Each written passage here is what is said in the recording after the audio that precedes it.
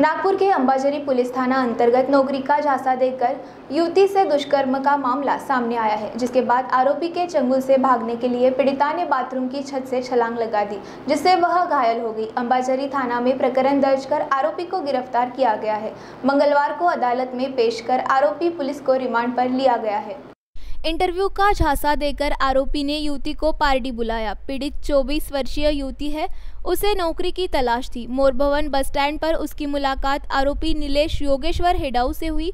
नीलेश मजदूरी करता है। उसने पीड़िता को नौकरी दिलाने की हमी भरी थी। नीलेश ने पार्टी स्थित एक होटल में रिसेप्शनिस्ट पद के लिए इंटरव्यू होने का झांसा देकर सोमवार को शाम सात बजे युवती को पार्टी बुलाया। युवती तय समय पर वहाँ पहुँची। उसके बाद वह उसे पुराने मकान में ले गया और वहाँ उसने युवती से दुष्कर्म किया। पश्चात युवती ने उसके चंगुल से बचने के लिए बाथरूम की छत पर चढ़ी और वहाँ से छलांग लगा दी। युवती गंभीर रूप से घायल हो गई है। इस बीच पीड़िता ने मामले की सूचना पुलिस को दी। प्रकरण को गंभीरता से लेकर पुलिस मौके पर पहुँची। गंभीर हालत में पीड़िता को मेडिकल अस्पताल में भर्ती कराया गया। पुलिस ने आरोपी को गिरफ़्तार कर लिया है। चार तारीख को पुलिस स्टेशन में रिपोर्टर मतलब जो पीड़िता है, वो उसकी बहन के साथ पुलिस स्टेशन में आकर उसने रिपोर्ट दी कि उनतीस या तीस तारीख को आरोपी की साथ पहचान हुई।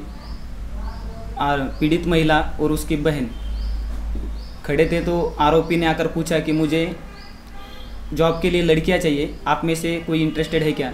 तो पीड़िता जो है, उसने कहा कि हाँ मुझे जॉब की ज़रूरत है। मुझे मिल सकती है क्या? तो उसने कहा हाँ ज़रूर मिलेगी। तो उसने उसका बायोडाटा और फ़ोटो व्हाट्सएप पे मांग लिए। उसके बाद दो तीन दिन उन्होंने बातचीत की जॉब के सिलसिले में। तीन तारीख को आरोपी ने पीड़िता को गणेश गणेशपेट बस स्टॉप पे बुलाया और कहा कि भंडारा की तरफ़ एक होटल है, वहाँ रिसेप्शनिस्ट की जॉब के लिए इंटरव्यू देना है।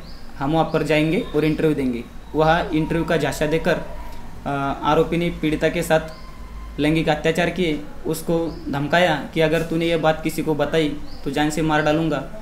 रात भर उसको साथ में रखने के बाद, दूसरे दिन सुबह गणेशपेट बस स्टॉप पे लाकर छोड़ दिया और तभी उसको फिर से वही कहा कि अगर तू रिपोर्ट देती है या किसी को बताती है तो मैं तुझे जान से मार डालूँगा। ये बात उसने अपनी बहन को बताया।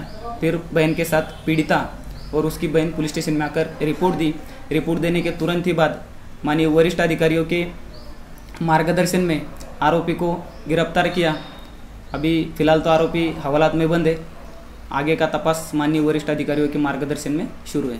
सर आरोपी क्या करता था? नाम? आरोपी से पूछताछ की तो आरोपी का कहना है कि दो साल से वो हसनबाग परिसर में रहता है और मजदूरी का काम करता है। वीकेबी न्यूज़ के लिए कैमरा पर्सन रोशन बोकड़े के साथ वैदेही चौहान की रिपोर्ट।